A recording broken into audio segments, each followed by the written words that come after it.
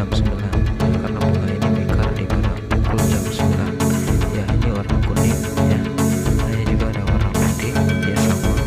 Tentunya ada warna. Biasanya bunga ini kuncup sekitar